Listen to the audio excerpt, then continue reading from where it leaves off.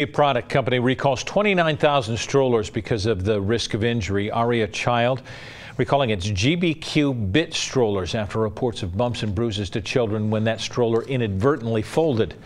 There have also been reports of caregivers getting hands pinched while lifting the stroller when it's folded. Strollers were made between March of last year and March of this year.